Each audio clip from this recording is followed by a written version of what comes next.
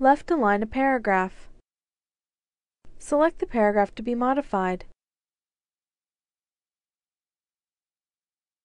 Click the Home tab. In the paragraph area, click Align Left.